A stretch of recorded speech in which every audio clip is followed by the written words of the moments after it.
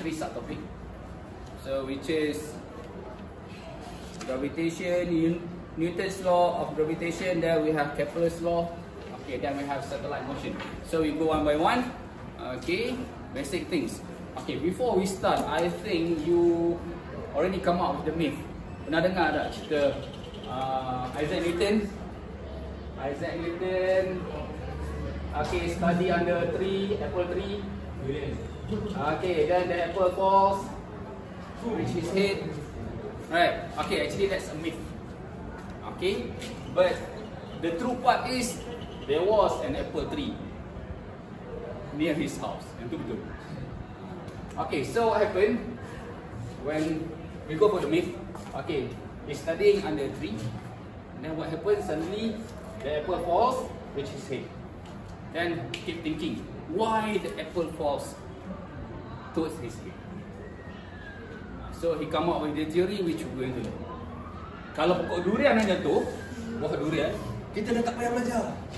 Okay, semua buah apple, kita kena belajar. Ha. Kan? Ha, siapa kat UK tak ada durian? Okay, so what happened? So he come up with a theory of universal law of gravitation which states that when two bodies interact, okay, two bodies interact, there is a gravitational force between them. Okay, let's say this is the planet Earth, M1, the mass. Okay, this is the apple just now. Okay, M2. So, Newton states that when two masses interact, there is a gravitational force act between them. So, M1 and M2. Okay, then it is inversely proportional to the square distance between them. So we have distance between them R inversely proportional. So by logic, why the earth, oh sorry, the apple falls towards the earth? Sebab ini besar, ini kecil. Siapa kuat dia menang lah. Sebenarnya normal lah. Kan, takkan bumi ni pergi kat apple.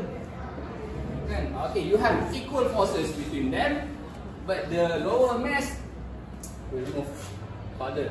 Okay, will move easier. So we come out with this equation, solve this equation. So we have F equal to G capital M1 M2 over R square. So what is G? G is gravitational constant. Universal gravitational constant 6.67 10 to 11 Newton meter square kilogram negative 2 okay it's not hard to memorize this you just substitute this is mass of the first object this is mass of the second object this is distance between the object but make sure the distance is taken from the center of gravity from the center means if This is Earth. This is Moon. So you take from here. That is not. Okay, not from here. Okay, because gravity acts on the center. Okay, kita pun ada pusat gravity kan kat mana? Manusia pusat gravity kat mana? Where is your center of gravity? Everything has center of gravity. That's why you can become stable. Let's say you hold this pen at the right point, so takkan jatuh lah. Okay, so human being, where is our center of gravity? Kat mana? Pusat lah. Sebab tu pusat. Pusat. Kalau lelaki, kita stable 50-50.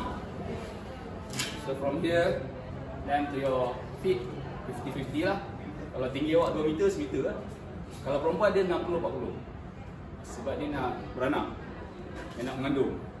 Ha, Sebab tu kalau perempuan pakai baju singkat nampak besar tak apa. Cuba lelaki pakai macam tu. Kan? Boleh lah. Dia tak sama. Tak 50-50 Dia 50-50 tu eh Okay, so this is the idea. Okay, so in your calculation, let's say the question asks you, okay, calculate the mass of moon. So we know the mass of Earth, we know the mass, uh, we know the radius, sorry, the distance. Let's say we know the force, so you can calculate either one. Just make sure everything in SI unit. Usually the R is given in kilometers because very very far. From moon to earth, takkan nak pergi centimeter, nak pergi meter. Okay, this one make sure in kilogram lah. Okay, mistakes usually happens. Okay, when the question give the distance, just this one. Okay, so means you have to plus this radius. Let's say this is Earth. We have radius of the Earth 6.37 10 to 6 kilometers. Sorry, meters. Ini jangan hafal, dia bagi nanti.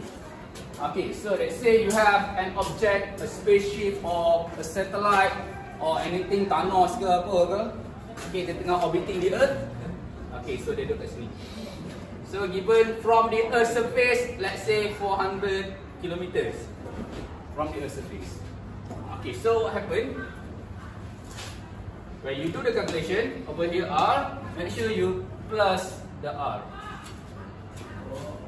Okay, so this R G M M over R square supposed to be R plus H. R ni. R plus H square. Okay. Again, what is H? H is called altitude. What is altitude? Altitude is height from sea level. Okay, from the land. Okay, ini kita bumi. So dari sini ya. Okay, then this is another radius of. Okay, any question? Clear? Okay, now I have simple question. Yang ini dah pernah jadi banyak kali kan kita. Anybody ever ask you before? Masa awak sekolah rendah ke sekolah menengah tak kisah lah bila-bila. When you were, let's say, uh, in the middle of the night tengah dating ke, tengah kira bintang ke, tengah tengok uh, apa-apa lah.